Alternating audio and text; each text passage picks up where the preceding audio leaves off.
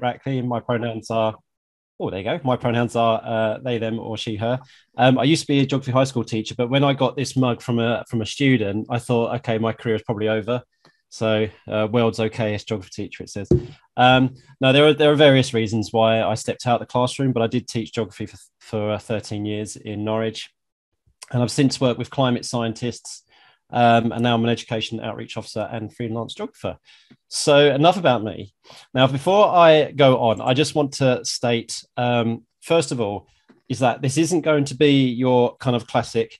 Here is the layer. Let's see what we we can do, etc. And just basically almost be like a, a, tutorial webinar. Okay.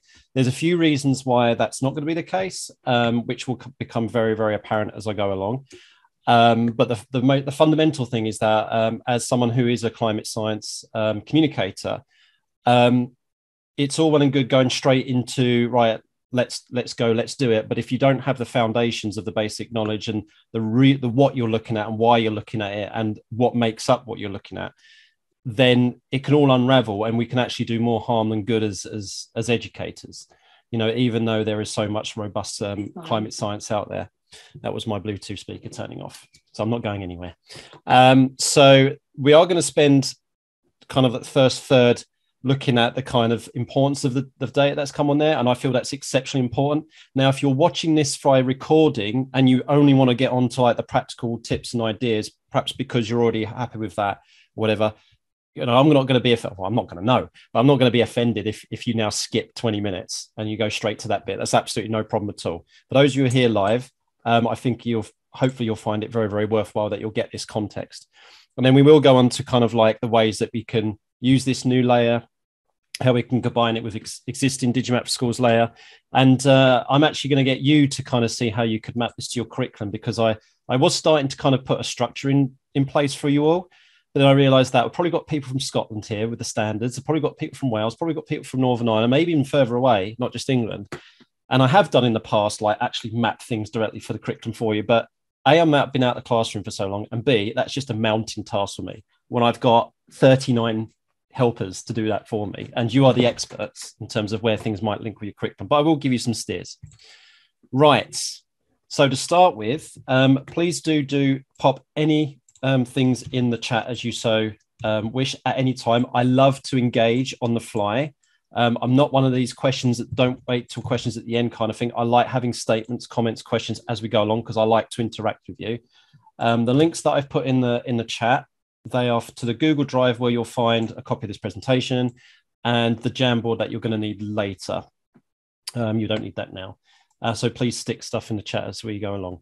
so the first things first is to be aware that when you're doing anything to do with climate information or climate data, we have got to be aware that there are certain uh, sources of authoritative data. Now, of course, today we've probably all been a little bit unnerved with with the with the news, the news today, of everything that's going on with regards to Ukraine. One of the things that they're cautioning about, of course, is that one of the things that they're really worried about is the spread of disinformation and how that can actually cause harm to people in, in Ukraine in particular.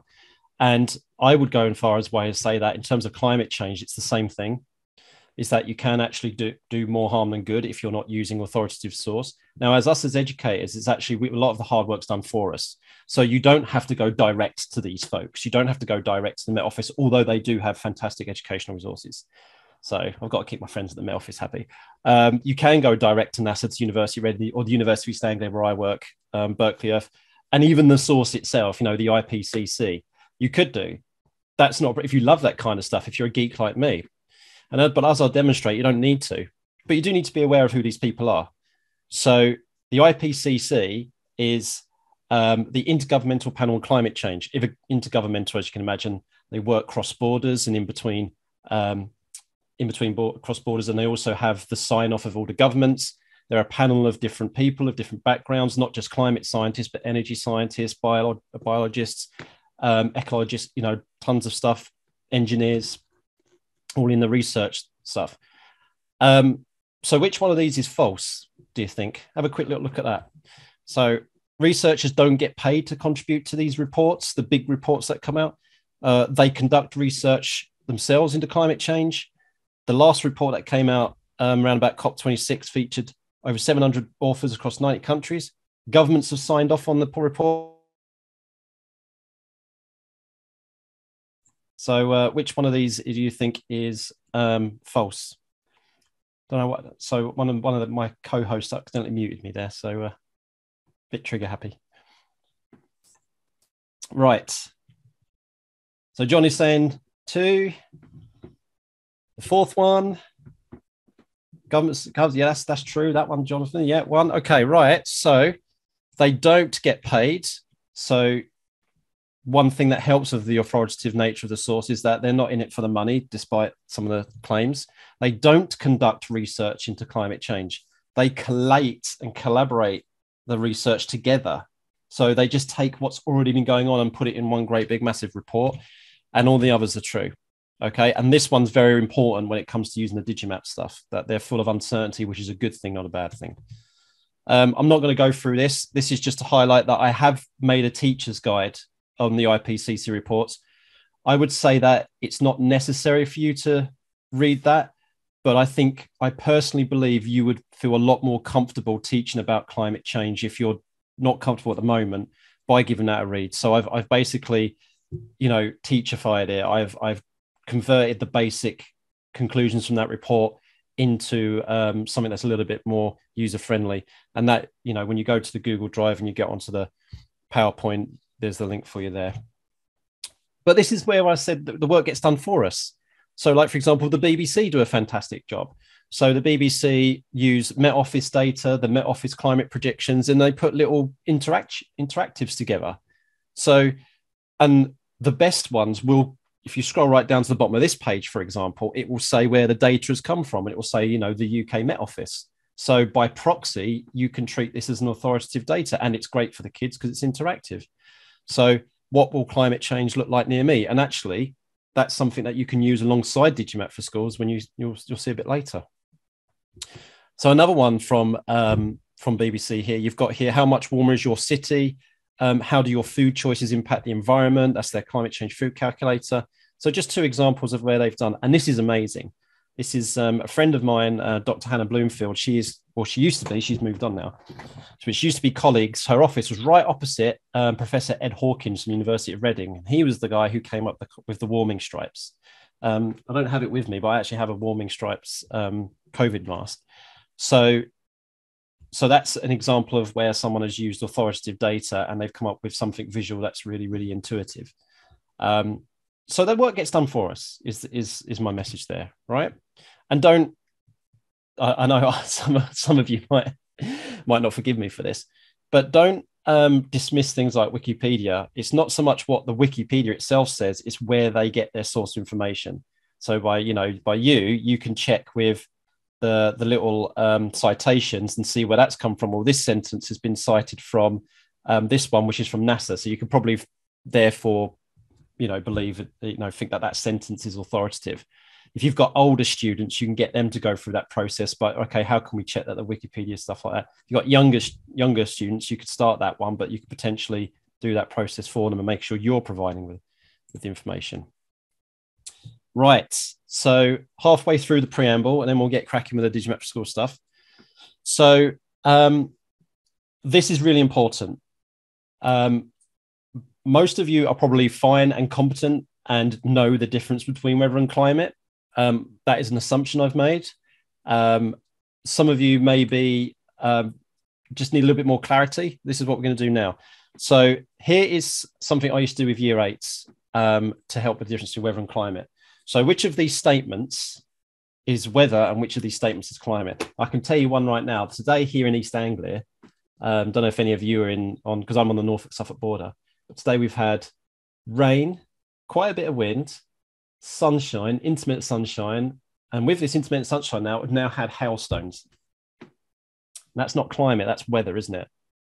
That's four or five different types of atmospheric phenomenon happening within a space of 12 hours or so.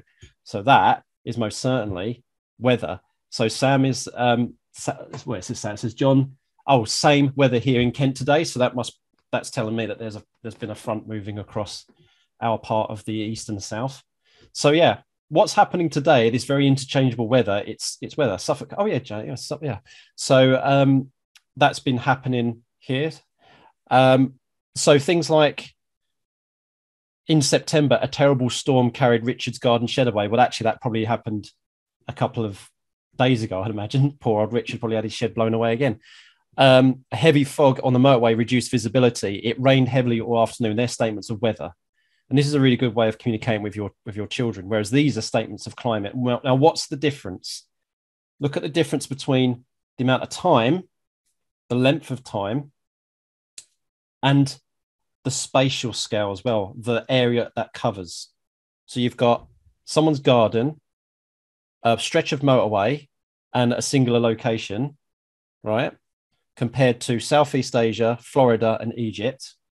So what's the difference in, in scale, spatial scale there? Where and in temporal terms, August, winter, season, compared to last night. Um, this is obviously a singular event at some time in and there and a moment in time and a day. So that's the main difference between weather and climate. So the stuff that you're to, I'm going to show you with Digimap for schools are climate layers. They're not weather layers. They're climate layers. Um, right if this one you should be okay with, but anthropogenic climate change is just the, the proper way of saying human caused climate change, right? Which scientists are the the even the UK government has said in official documentation that the debate is over now. This is really important one uh, when it comes to the Digimap for Schools layer, um, and that is the term climate projections, and that is computer based simula- simulations where they have um, they set different amounts of emissions or different scenarios which produce different amounts of warming. I like to think of it as a golfer hitting a hitting a rack of 100 balls and that and they're trying to hit that ball those balls exactly the same way every time but because of the slight change in angle on the wrist because of the change in wind direction or maybe uh, a slight difference in how the power that they hit it or whatever the wind speed there's always going to be a different result no matter what that that swing and that is the different kind of scenarios. And you end up with a spread of golf balls. They'll be clustered, they're higher probability, and you'll have some outliers. Now, that is scientific uncertainty. It's normal and it's actually very healthy and very good. But projections have uncertainty, which is very important to understand. And the other thing to important to understand is that we've all heard of staying above two degrees Celsius of warming, 1.5 degrees of warming. What does that actually mean? because 1.5 degree of warming compared to two degrees, that's nothing, isn't it? I mean, since I've just looking at my weather station here, since I've been sitting here talking to you, my the temperature in my in the house or outside has changed by 0.5 degrees. But again, that's weather and climate. So this is very important to understand. That temperature anomaly is the difference between um, a certain baseline. So in this case, pre-industrial levels is the average between 1850 and 1900. So when we hear the term 1.5 degrees Celsius, it is the global average temperature has, will increase by 1.5 degrees Celsius compared to the average there. Currently, we're at 1.1, 1.2. So that's where we are at the moment. That's why it's important to do that. Think of it as this bell curve. So we're shifting the bell curve. So the whole average is moving upwards, but you can see how individual extremes are changing. Okay, so the Met Office, in their most recent um, climate report, said that, for example, so us, so some of you said you're in the southeast of England. Well, at the moment, you know, two consecutive days or more of 30 degrees Celsius, they've been happening once every four years, right? But by 2070, because of this shift in average, just by half a degree or something like that, these consecutive days of 30 degrees C or more could happen four times per year on average. That's an incredible shift. So you can see that's that's basically this dark red here coming into play. So that's another thing to bear in mind. Don't be confused by these small little changes because they can have, on terms of a weather scale, quite substantial impacts. Almost done with a preamble. You've probably heard these terms, but they're important to understand. Uh, mitigation, adaptation. So mitigation is trying to reduce the impact of something like reducing our carbon emissions, building renewable energy.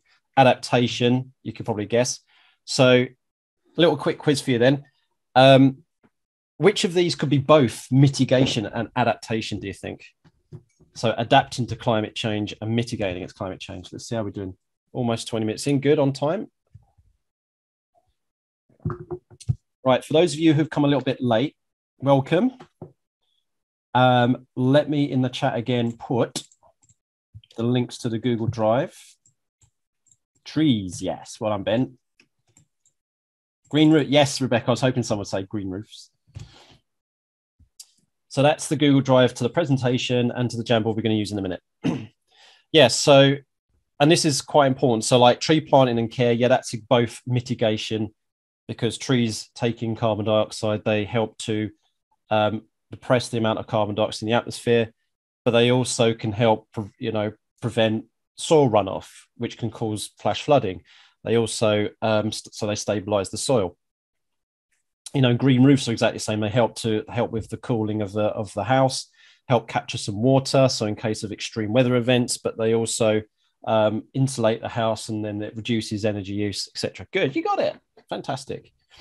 So that's really important stuff to know. So all this in mind, where has the Digimap for Schools data come from? Again, you don't need to know this, but you, in terms of the detail, if you are that well inclined, there's the link to where it will come from if you love that kind of stuff. But they have actually taken the data from um, proper scientific projections and studies. And in this case, it came from the International Journal of Climatology, which is run by the Royal Met Society. Um, I do have a few. I think I think some improvements need to be made, and I, I already spoke to the folks before I started, and that's okay. But I'm still very positive about this, and I'm going to talk about those limitations um, in a minute because it's very important to bear in mind what those limitations are. But I tell you what, this is a, a brilliant, brilliant addition to to Digimap. So let's introduce you to it, and I'm going to get someone to give me a good thumbs up that you can hear this we have added several new overlays to Digimap for Schools. We think these will be really useful and have lots of potential for exploring human and physical geography, right. as well as global climate. Let's have a look. To open the Overlays menu, just select it from the sidebar. We have reorganised the menu. There's a section for overlays that only cover Great Britain, then World Climate, World Human Geography, World Physical Geography, and the reference grids, where you will find latitude and longitude, major lines of latitude, and British National Grid. To view any layer, just check the box next to it. In our world climate overlays, we've added temperature and precipitation averages. There are historical data and projected data, so these are really valuable for discussion on climate change. You could view the key to each overlay underneath it, as well as adjust the transparency of it with this slider bar. We've added population density to our world human geography overlays so that you can visualize the number of people per square kilometer. Okay, so only more, uh, only a, couple minutes left. Um, I'm going to play the rest of it because some of this is going to be useful for a bit later. This overlay offers lots of opportunities for considering where and how people live. For example, what geographical features affect where people live and whether the density of population is affected by housing types in different areas of the world. Pupils could measure country area or research total populations and compare it with the population density, e.g., consider the USA against Germany. It could be helpful when viewing population density to switch to the world boundaries map to see the country names more clearly. You'll also find our time zones overlay here, as well as world place names. The place names are really useful in looking at our country level detail maps where place names may be written in different languages. New physical geography overlays include volcanoes, tectonic plates, and mountain ranges. Lots to explore, and we're really excited about the potential this offers for embedding locational knowledge and meeting curricular expectations and learning outcomes. Get Feature Info can be used on two of the overlays, world biomes and volcanoes. Just select the Get Feature Info button and then select the location on the map you're interested in. An information box pops up. You can view more than one overlay at a time, you could, for example, view population density along with biomes to illustrate lower population density in areas of tundra or desert. Or you could try population density with mountain ranges to show how physical geography can influence settlement and migration. Was that was that your voice, Viv, on the, on that video? It was really nice. No, it was my colleague Emma did that one. Ah, okay, nice. yeah, uh, you, so thanks for putting the the long form of the Google Drive link because you you might you just might have been having problems using the Bitly link, right? That so I wanted to show that off because I wanted to show you some of the other overlays that that have come online in digital schools and this whole transparency kind of merging of because they're going to be quite useful a bit later. Right, if you have access to um, Digimap for schools now, like you've got an account and you're on the, your computer and you remember your password, stuff like that. If you want to um, open up a new web browser and, and and open that up. Don't worry if you don't. If you if you're watching this and recording, that's quite handy because you can pause me. I'll just make sure I don't have a gormless look on my face. The long link, I'll put the long. Yeah. So when it comes time for the uh, the Jamboard, I'll do the long link for the Jamboard as well. So, oh, thank you, right. Okay, so on Digimap for schools then. Oh, have I lost my share? Have I still got my? I'm still sharing my screen. Good. Right. So um, it's very easy to find this. Just the overlay tab here, and then you can use a drop down world climate. So just have a little little rummage, a little play with that. For those of you who can't access at the moment because maybe you're on a mobile device or something like that, let's have a look, shall we? So, okay, let's let's give you this now, shall we? While I'm here. Oh yeah, some of you are there already. Uh, da, da, da. Oh, Viv's done it. Thank you, Viv. Right. Okay. So I spent quite a fair bit having a little play around with this today, which was quite nice.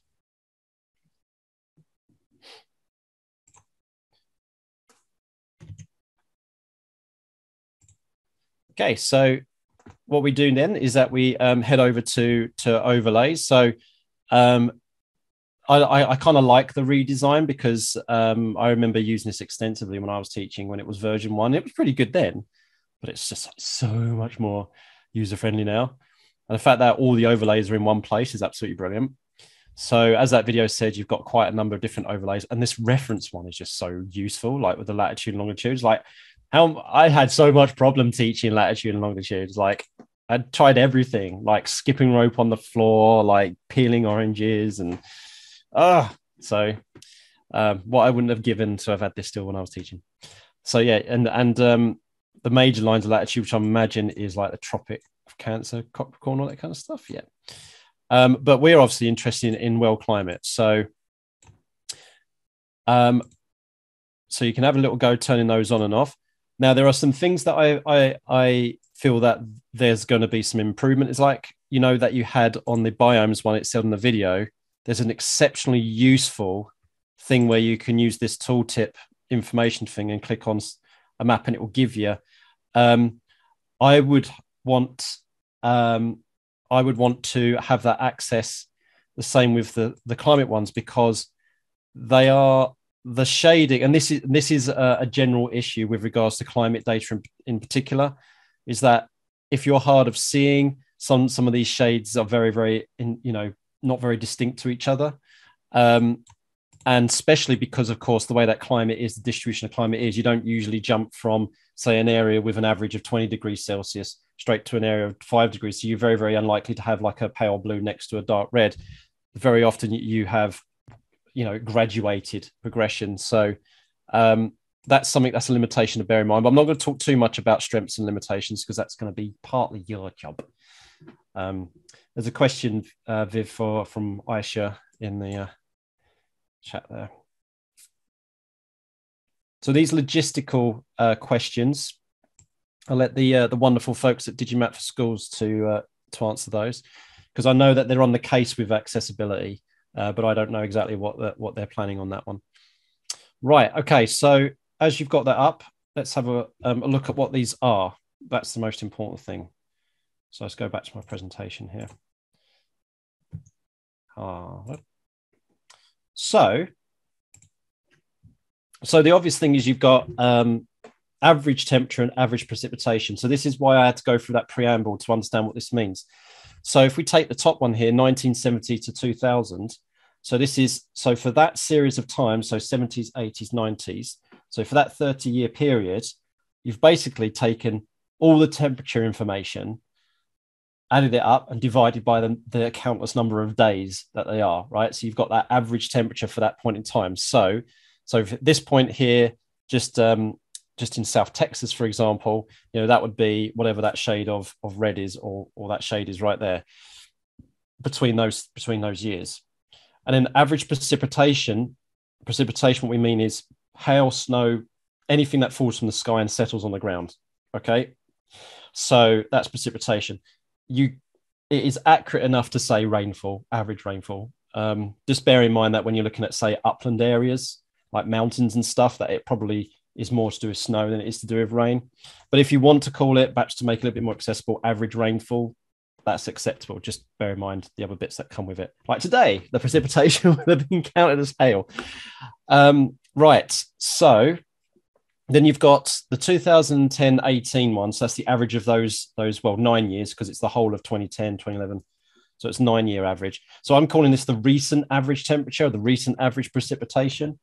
And then the previous, so perhaps I'm just holding on to my youth here by calling it the near past rather than the past because climate data does go as far back as like the 1800s and whatnot. So I'm I'm, gra- I'm grappling at stores calling it the, the, near past. So you've got the near past average temperature and the near past average precipitation, 1970 to 2000. Now the projections is where we've got to have a bit of caution, right? These are near futures, but the the temperature has been split up into minimum average temperatures. So that's the bottom, you know, the lowest temperature you get in a 24 hour period. So usually it's in the middle of the night, isn't it? So they've done an average of all those minimum temperatures. And then they've done an average of all the maximum temperatures. So the hottest part of a 24 hour period. Now, the, you could probably think of a limitation with that is that that does not really make it directly comparable to to the others uh, to the temperatures above. So that's something you've got to bear in mind. Um, it is more comparable with the precipitation though you can trust you can trust it is a little bit more within line with that regards but this is now we're talking about um, you know the climate uncertainty and the other caution i would say as well is that is that there are i don't i'm not going to bore you with this but there are countless different kinds of climate projections. It's just what good climate science does. And the projections that have been used for both of these are i would say a little bit dated. Um, so actually some of these temperatures actually appear lower than what they are currently today when actually we know that that's not going to be the case because this this is outside this is on like the anomaly side of uncertainty. So that's just to be very very cautious there. And the, the precipitation one is a little bit of a, a pessimistic scenario which we're probably not going to follow because you know up, we go into a warming of about 5.4 degrees. So just to be cautious um, about using those projections. My personal opinion and this is no reflection to Digimap School, so I know that they're continuously developing this and they're doing a great job with this, is, is perhaps avoid these two for now while they get refined, but you're absolutely fine to continue using a, a, a, precipitation one. But using the difference between these two, the near past and the recent, is good enough in itself. And can, you can do a lot of things with those anyway. Okay. Viv's just put in the chat uh, a statement about accessibility. Um, so which is going to be very useful. Right then. So, what do you think? So here comes the the Jamboard uh, link that Viv put in the chat. So I'll just copy that again and stick it in there. So let's have a think of what we think. So let's appraise this. Do what all good teachers do. Take a um, a resource. Think about how we can use it, how we can't use it. And I'll repeat for those who weren't here at the very start. Let me repeat what I said earlier when it comes to teaching about scientific basis, scientific fact, data, and things like that, we've got to be aware of the data limitations. We've got to be aware of how the data is presented. That's just that's just good teaching, good ethics, and good science. So let us assess what we can definitely do with this data set because there are a lot of things we can do with the strengths, and let's assess maybe things we've got to be cautious with. And let's do that as a group so we can support each other. And um, and Viv, Viv and Laura, this is this is free feedback and evaluation for you, I guess. Um, I'm not directed to do this. I'm a free spirit on all this, right? Okay. And Laura and Viv and everybody at Digimap for Schools have trusted me that I, I, I am doing this in a professional manner. Right. So let's go over to our Jamboard. Um, okay. So I know not again, not all of you can access the Jamboard. Fine. You are more than welcome to go and get a cup of tea, go for a wee while we do this for just a few minutes. Um, you're more than welcome to sit and watch us and see what we put on there. That's not a problem at all. Right. And I always like to see, is that an axolotl? We've got an axolotl. I've waited for ages to get an, an anonymous axolotl. That's incredible. Chipmunk, armadillo, buffalo. Um, I can't I never pronounce that one. Anyway, so what we're going to do here is um, let's see use the post-it note function, and then it kind of like the pink and orange is things that we think is a limitation, and then the the brighter ones, so the the, the, the two on the left, things we think are a strength. So let's have a, a, quick bash. If, if we just do this for two, three minutes between the 22 of us, 23 of us, bet we can come up with some ideas. So, so I've got here the fact that the data set is quite coarse. So you can't actually zoom in on an individual city because it, it, doesn't cover that amount of amount of um, fine detail. It's a coarse scale. So there's some limitations with that, but there's some very good things to do with that. You'll notice that the um, projection for precipitation only goes up to 2029, which is seven years away. So there's a strength to that, but there's a possible limitations to that. Um, the fact, well, I've, I've already given the answer to this one. Really, you know, is there strengths and weaknesses regards to the fact we've got minimum and maximum projections rather than something to compare it? And any other thoughts? So let's have a little bit go with this um, using the sticky thing. So I'm gonna let's put the ones that I've already said, eh? So limitation. So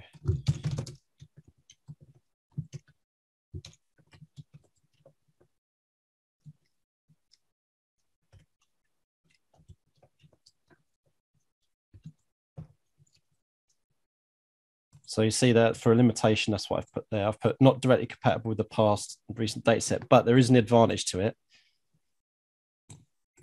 You can you all you, you all can do the stickies, yeah? Because surely I'm not the only person out of 23 doing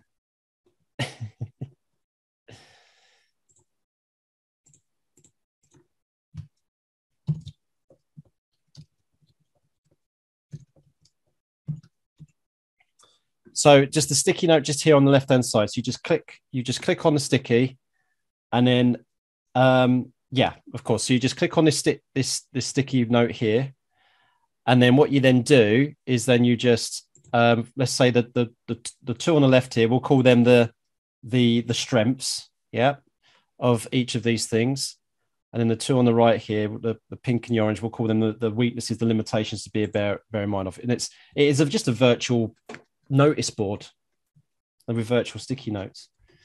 Um, helps to understand that you have that you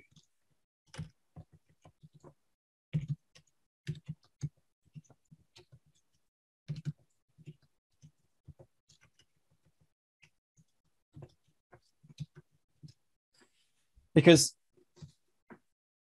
teaching the year eights weather and climate, it, I was quite, I wouldn't say shocked, but I was I was surprised how, that they were surprised that you would measure the minimum and maximum temperature in a 24 hour period. And I said, well, why would you want to measure the coldest a day would get down to and the warmest a day would get up to, you know? And then we had a discussion about why that was the case. So, so of course, one thing that comes to mind on a climate point of view is that minimum temperatures are really, really important because if you get to a point where climate change pushes the minimum temperatures up so high that that permafrost now no longer stays frozen or ice starts to melt even in the middle of the night, then you got a problem. So that's why it's really, really, you know, quite helpful to have a difference between um, minimum maximum. yeah, people's might find yeah, and and there's there's like one thing you can't do. So whoever so whoever said that one, I think that's really, really good.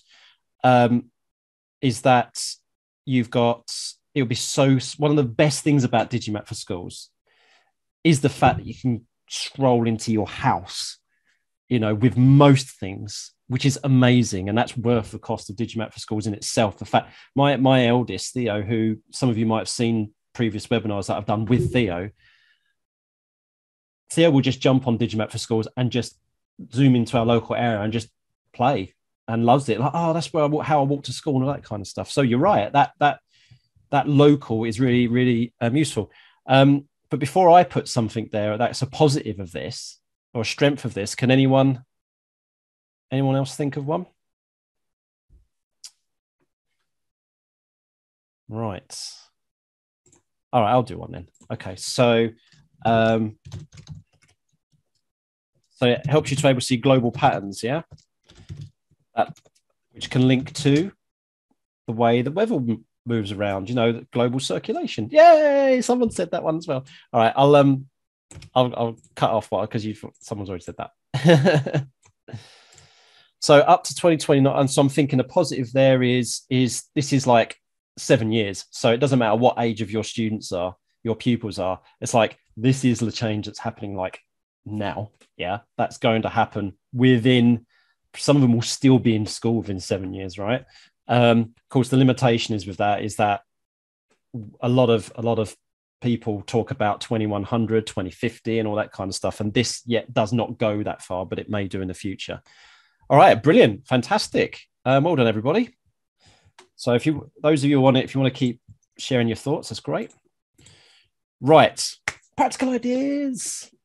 So folks who have been watching the recording if you've, if you've skipped to this part welcome back don't blame you um still recommend you look at the, the bit though.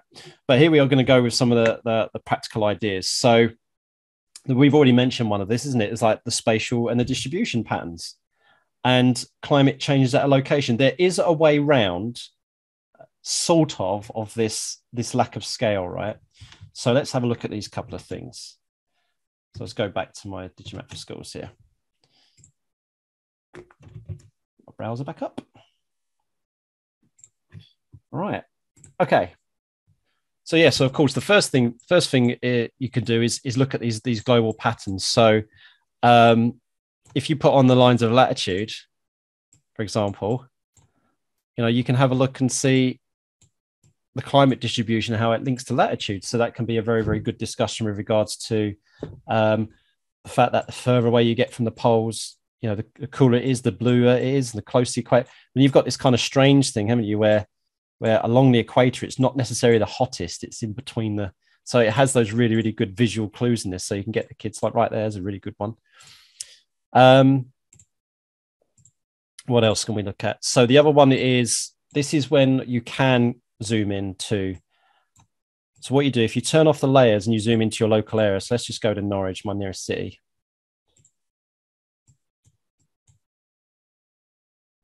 one it's a bit sticky today my laptop. So this is where I'm based. See, Laura, what I was saying about just before we started about the ear shaped. That's why I, I, I jokingly call it East Ang ear because it's shaped with your ear. Um, so then what you can do is that you can go to drawing tools and you can stick on a pin. So let's put, put a pin on Norwich. Great. So you put a pin on Norwich and then because of the nature of the layers, you, you now need to zoom back out again. But at least now we know where Norwich is located. And then we go back to our overlays. And then we turn on the recent one, right? So this is, um, as far as I can make out, this is the five to 10 degrees Celsius. So between 1970 and 20, 2000, the average temperature for Norwich was five to 10 degrees Celsius, right? So and for most places, if you now go on to the next one, 2010, 2018, you'll see that actually in just that shift, that very short shift of time, space of time, we've actually gone up from five to 10 degrees Celsius on average to 10 to 15. Um, sorry, was it 0 to 5 to 10? Yeah, so it's jumped up by a, one bracket by five degrees, is what we're talking about, about the accessibility, right? So you can see that actually in just that short space of time that that region's done it. Now you can see that some places wouldn't have doesn't look like it's changed at all. That's the limitation. So if you take like areas of London and the south coast, and they remain the same color, but at least what you can do is you can say, so say if you're on the south coast, your color might not have changed, and your kids might be like, oh, like no, it's not really changed. Well, actually, you can have that conversation. Well, a bit further north to us has, has changed, which probably means that we might have gone from say, I don't know, six degrees on average up to nine degrees or something like that. And Viv's just put in the chat there. There are plans afoot to be able to compare two maps side by side. Ah, oh, would, would I would that be a movable slider where they can slide it like that, or just would it be just a static? It would just be two static um, maps. That's fine. So yeah, you have yeah. a window with two maps. You choose what you want on one side. You choose what you want on the other. Now I've got that Ace Ventura movie where he does that with the oh, never mind.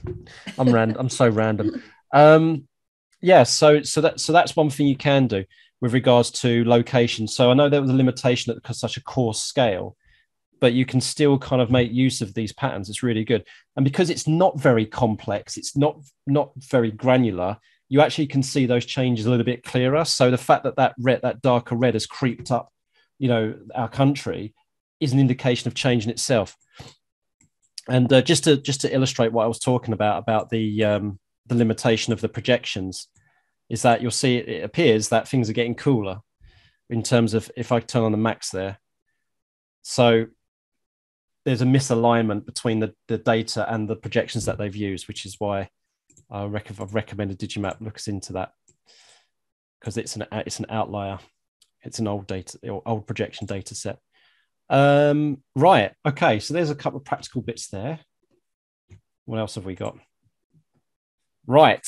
You can have a go at this one if you like. So here's your challenge. I want you to find um, anywhere on the map on the 1970 to 2000 average, so the recent past, yeah, as I'm calling, I was born in 82.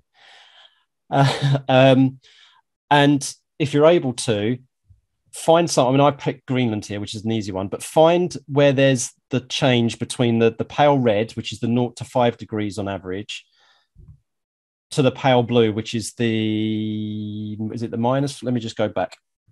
Is it the minus five to naught? Yeah, minus five to naught. So basically, you you change you change hues hues. Right. So I I I if you if you want to cheat, you can do Greenland with me. It's fine, but see if you can find somewhere else on the pla- on the planet where you've got that differential. I mean, there's, there's Iceland. You can have a look. Use Iceland. Right. So you've got the 1970 to 2000 selected. Here's a lovely one right on the coast of Green. Look at this. So this is where I've done my example. So what all you do now, and it doesn't have to be perfect, you know, and there's always going to be that one kid though is going to go every nook and cranny, isn't there? Ah, oh, that would have been me when I was in school. Um, so then what you then what you can do now, you can go to drawing tools and you can click on line, or you could do area, but line's probably the best one. And then just basically trace a little bit just on the border of that pale blue. Doesn't matter, as I say. Does see? I'm doing it. Look, Kit, don't be so pedantic. Right, just roughly trace that limitation of this up one kit. You're going to have some kids who are going to spend 10 minutes just doing the line. Right, there you go. It doesn't matter. It doesn't have to be the whole stretch of Greenland. It just be you're just marking a boundary, right? Okay. Now, why do you think, folks, Kit has decided to do the demarcation between 0 to 5 degrees Celsius on average for this period and minus 5 to 0 degrees Celsius on average. What is the fundamental, crucial thing about those temperatures? This is the question I would ask the students. What's so fundamental about those temperatures? So, if your average air temperature was just above something, whoa, Ben, are you on half term, Ben? Because you seem quite sharp today. Or is it, or is it, and John as well? Yeah. So Ben and Jonathan's got it. Um, yeah. So you've got it. It's it's that triggering point, is it, where you can have because of course, don't forget it's, it's an average of over 30 years. So there's going to be days, there's going to be years when it's slightly warmer than than above freezing or slightly below freezing, of course. But if these general 30 year trends, 20 year, 20, 10 year averages shift above zero, you know, you're going to have few, remember that bell curve? You can have fewer and fewer days that are going to get below freezing, right? it's, it's, uh, Norfolk are back at school now. Suffolk, I'm on the Norfolk Suffolk border. Suffolk are on half term this week, and Norfolk are back. So it's bit chaos here around here on South Norfolk. Right. So what you do now, hope, probably some of you have probably guessed what you do next, is that have that transparency up full. And the same with this one. So this is the 2010, 2018. And then, so I've done it in reverse, look. Um, but then if you flick between the two, you can see how that's shifting. So look, so if I go there now and then you get the kids to draw a new line in a different color, So let's go for uh, something very distinct. So it's kind of purplish, isn't it? Let's go for this brighter one. So this is why it's not important to get every nook and cranny because it's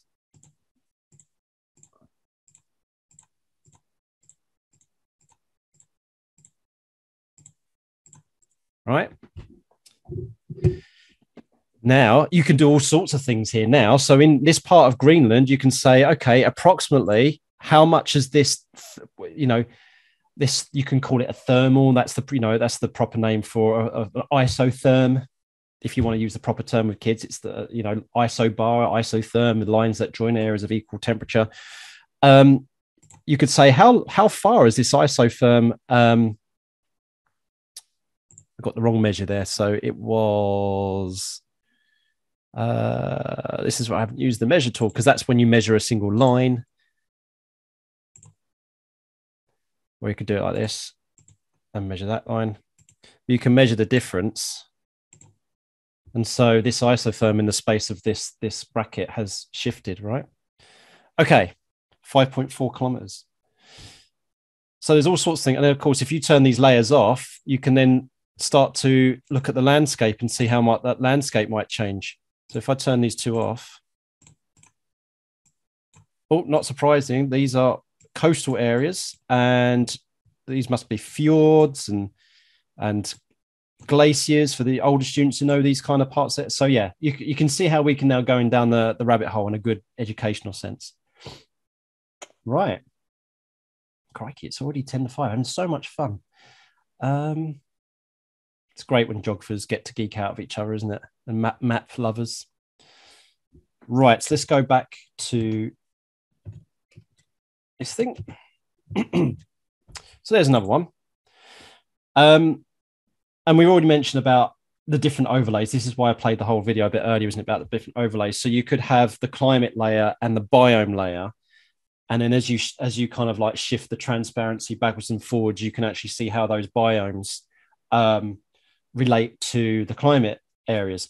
And when it comes to terms of climate change, you know, if you start seeing a, a, a march a north, what we call poleward, a poleward migration, a poleward shift of our temperatures.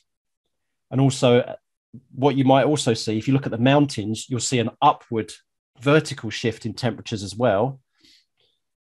And then you put this biome, well, it's like, well, what what what biomes, what ecosystems are under threat because of climate change? So if the temperature for a temperate forest or the, or the tundra where the permafrost is you know, and there's a nice little neat overlap with, well, if that temperature starts moving poleward, what's going to happen to the southern fringes of that tundra? So there's all this wonderful stuff that you can like inquiry based kind of investigation stuff that you can do with your students here using using this.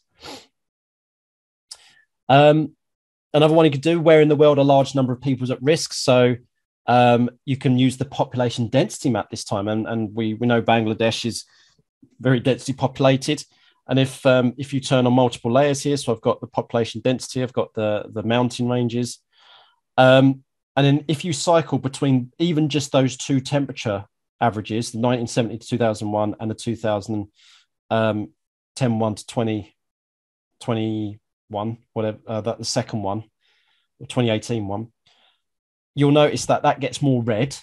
So there's a higher number of people that are, are going to be experiencing perhaps heat stress in that dense. The other thing, though, if you do the precipitation map, it gets a shade, it gets bluer. So this could, so we know that sea level rise is a very, very big problem when it comes to areas like Bangladesh and the melting glaciers off the Himalayas is another, but they've also got increased number, level of precipitation as well. So they've got this three fold impact. And of course, if you see an area that's drying, so it's getting paler blues in precipitation, then there's the opposite potential problem is that these people could be in areas that be experiencing drought. So this is really good, a good time between population density. Okay, then folks, to finish off with the uh, curriculum mapping, if we return to the Jamboard, um, and that is, um, and this is, I'll come, to your question in a minute, uh, Kim. So this is where the the mapping comes into play and i'm, I'm going to leave you with this so i'll get you started on this because of the time and I would strongly recommend that you kind of like give yourself an extra five ten minutes off after a break or something. I'll come back to it later on.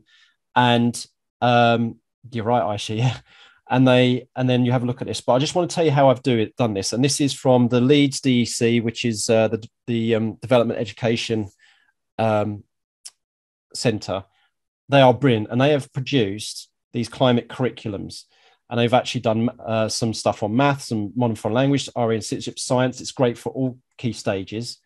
Um, and this document, the climate curriculum, is just fantastic. And I don't have time to take it through it. So, but you can have a look at it your, yourself. So, what I would do is go back to the Jamboard here. And if you go to pages, so page three just gives you the link and, and everything, is that I've done my best to highlight bits of their climate curriculum, which I think Digimap, this Digimap for Schools layer can help with. Now, I as I said, for those who came late, I did say at the start I was going to go pick out things from the key stage one to key stage four syllabuses, uh, national curriculums, and pick out the key things you need to do.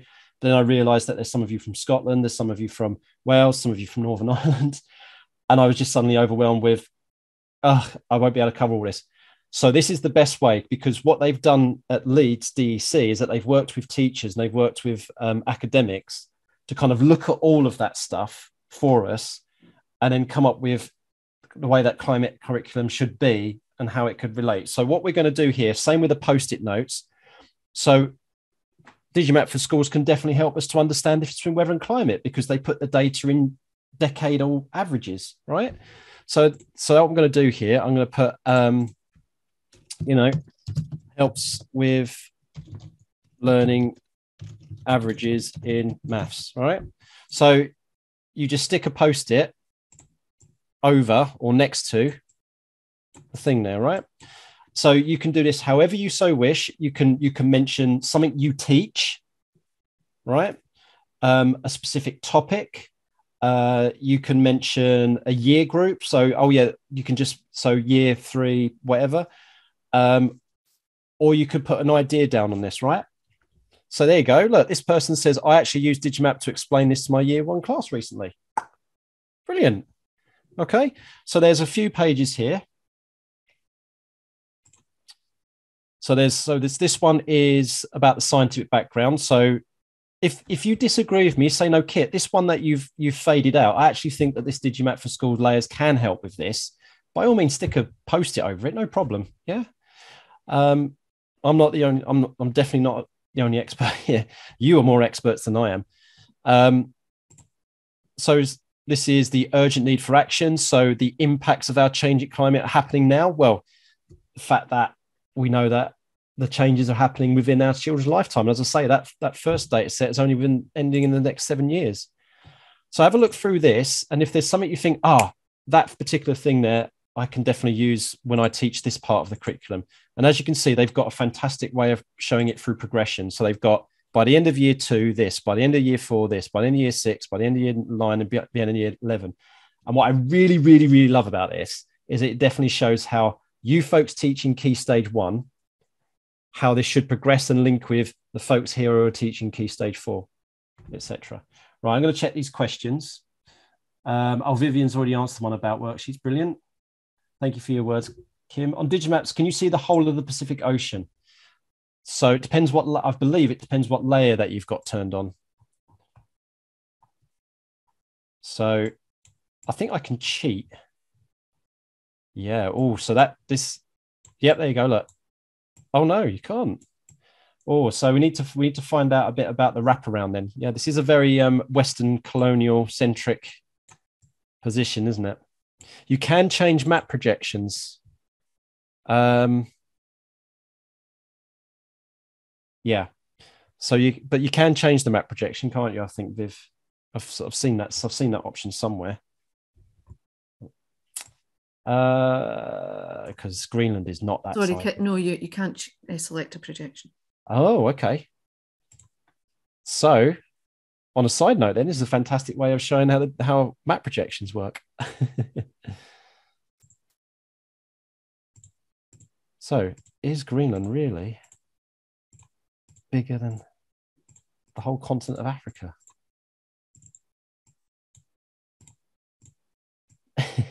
nowhere near. Oof. An order of magnitude less. Right. Okay, folks. Um, now, before you pop off, I spoke to Laura and I and I'm hoping that this would be part one, if you like. And then after a little bit of um, feedback, after a little evaluation, after you've had a get, bit of a go at it and you've seen how you've been able to apply this, then we can get some really, you know, really some collaborative ways of how we, we can go ahead and physically use this thing because it is such an amazing tool. I'm so pleased when when the folks at Digimap for School said, "Oh yeah, Kit, you do your climate stuff." It's like we've we've, you know, can you have a look at this for us? I was like, this is amazing because I already liked Digimap for Schools for what it could do. So, um, as we've already established, there are limitations, but there are far there's there's plenty of uses that we can use at the moment. So, um, if you want to get in touch with me, my email is uh, kit at geogramblings.com. You are always welcome to get in contact with me. Most of you follow follow me on Twitter or on my Facebook um, or whatever. Um, and yeah, it's um, just get in contact. And if you have any questions or comments, just ping them my way.